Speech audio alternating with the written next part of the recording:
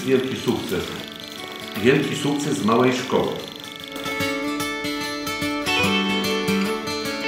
Szanowni Państwo, w 2023 roku 93 szkoły z całej Unii Europejskiej, proszę mnie poprawić Pani Dyrektor, jeśli coś nie tak z tych notatek mam, które sobie wydrukowałem, zostało laureatami, a z Polski cztery szkoły, czterech kategoriach. W kategorii szkół podstawowych nagrodę otrzymała Szkoła Podstawowa w Koźminie. I myślę, że w tym momencie gromkie brawa.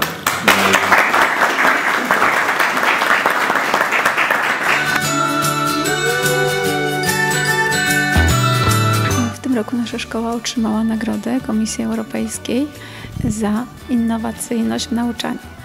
Nagrodę otrzymaliśmy za projekt z programu Erasmus, który realizowaliśmy w partnerstwie ze szkołami w Hiszpanii i w Rumunii. E, Celem tego projektu było rozwijanie kompetencji kluczowych uczniów, szczególnie cyfrowych, matematycznych, językowych. E, Projekt opierał się na e, mobilnościach, na zajęciach, na warsztatach, na prowadzeniu wspólnych zajęć.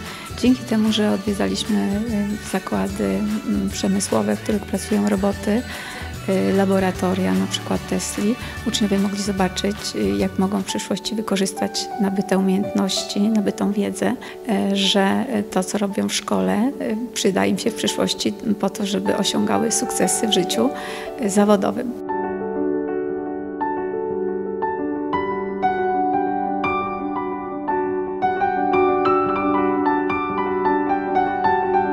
Dziękuję, gratuluję Panie Dyrektor.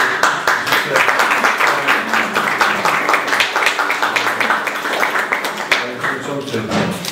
Założeniem tego projektu jest właśnie y, kształtowanie tych kompetencji uczniów, ale jednocześnie podnoszenie kwalifikacji zawodowych nauczycieli. Też mogliśmy y, brać udział właśnie w różnego rodzaju szkoleniach wspólnych, y, gdzie nabywaliśmy właśnie te kompetencje też dotyczące nauki z kolei, programowania, żebyśmy mogli uczyć dzieci. To po pierwsze. Po drugie też doposażona szkoła została w sprzęt. Właśnie zostały zakupione klocki Lego, które służyły właśnie do programowania i do prowadzenia zajęć tych wspólnych. Tak naprawdę ta nagroda jest dla zespołu, ale dla całej naszej szkoły. Dla nauczycieli, pracowników, rodziców, uczniów. E, Jest też y, takim uhonorowaniem naszej wspólnej pracy, ponieważ jesteśmy małą szkołą i jeżeli podejmujemy się takich wyzwań, to cała nasza społeczność jest zaangażowana, żeby e, taki projekt zrealizować. Kieruję serdeczne podziękowanie dla pana wójta gminy Brudzew, pana Cezarego Krasowskiego, który nas wspiera, który motywuje nas do podejmowania właśnie e, prób opracowania i realizacji projektów, które wzbogacają ofertę edukacyjną naszej szkoły. Y, Też podziękowania kieruję dla y, Państwa radnych, którzy przekazują środki finansowe na doposażenie naszej szkoły właśnie w nowoczesne pomoce, w nowoczesne sprzęty, które nam pomagają właśnie realizować y, tak nowoczesne projekty.